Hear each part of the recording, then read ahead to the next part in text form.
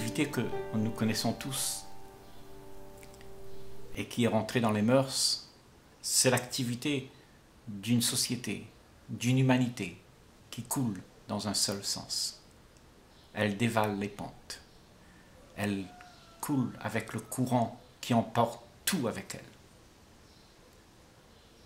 Et tous ceux qui sont emportés avec elle glissent dans la pente vertigineuse d'une société malade où tout se répète de la même manière.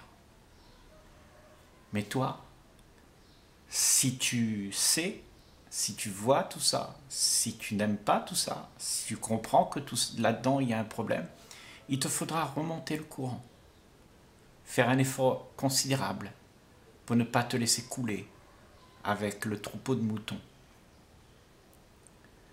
Parce que c'est ça la vie. La vie, c'est ne pas suivre la logique qui a été installée depuis les décennies et les décennies de propagande qui t'ont demandé à être ce que tu devrais être. Ce que tu devrais être, c'est la logique d'un monde qui est en éperdition, malade, et qui cherche toujours à répéter la même chose, sans aller, chercher la racine du problème.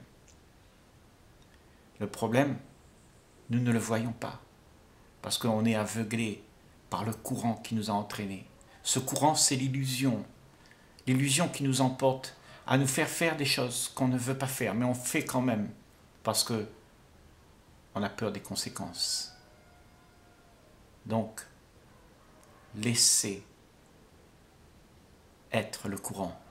Et toi, fais face au courant. Regarde qu'est-ce qu'il y a au-delà de tout ce qui t'empêche de remonter. Et la société entière sera une distraction pour toi. Parce que ce que tu es à ce moment-là, tu deviens un danger pour ce courant qui coule. Tu vas le freiner, tu vas t'extirper de ça et tu n'alimenteras plus ce courant. Ce courant qui coule et qui va à l'éperdition. Ce monde malade dans lequel tout le monde tombe malade.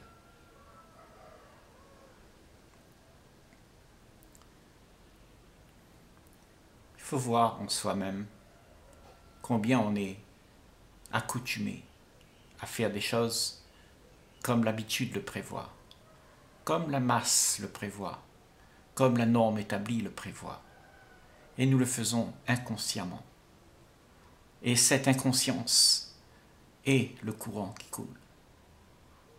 Cette illusion, cette croyance, ce devenir que l'on aimerait être, tout ça, c'est le courant qui coule. Et là, on parle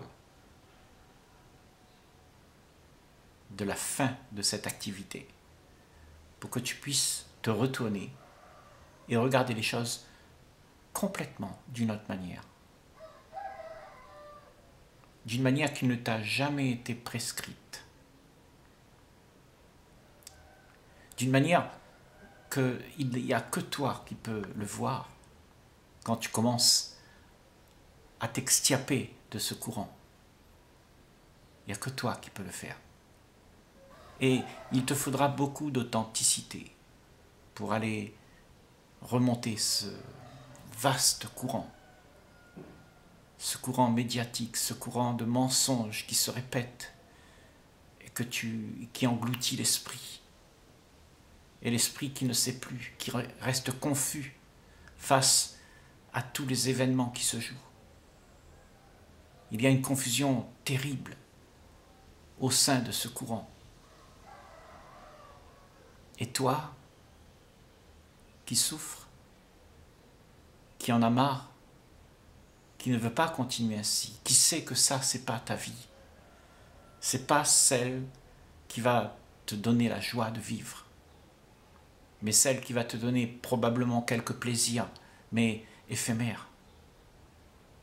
Et dans ces, et dans ces plaisirs éphémères, il y a encore toute une peur, toute une déception, toute une frustration pour les avoir.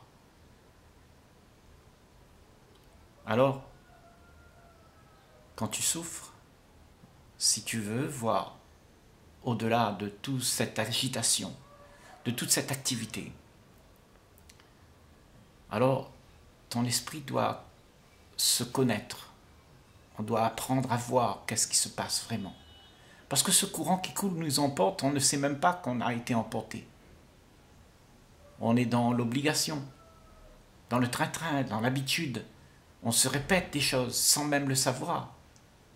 C'est à la fin les conséquences de tout ça qui fait mal.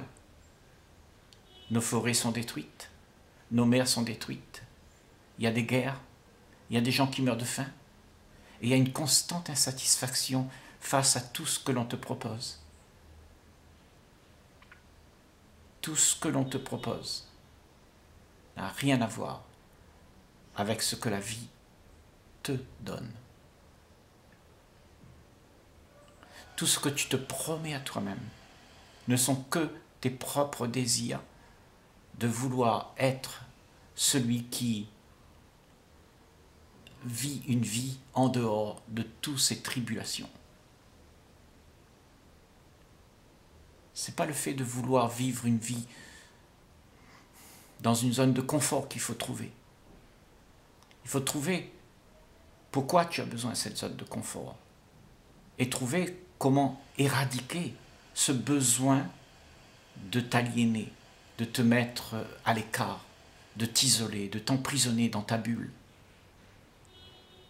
Il faut que tu ailles au-delà de tout ça. Tu vas voir la racine de ton problème. La racine de ton problème, c'est que tu es aveugle. Tu ne vois rien d'autre, pas plus loin que le bout de ton nez. Ce n'est pas quelque chose que j'ai contre toi, c'est quelque chose qui est observable dans la vie de tous les jours. Nous ne voyons pas plus loin que ce que nous voulons avoir pour pouvoir être bien. Et tout ça, ça nous empêche d'être ce que l'on est, ce qu'il y a vraiment d'essentiel. Et ce qu'il y a d'essentiel, c'est au-delà de toute cette activité. L'activité de vouloir être bien. L'activité de vouloir s'acquérir euh, d'un quelconque bien-être que l'on te propose sur cette planète, dans ce monde, ce monde mondain où tout est bon, tout est convoité.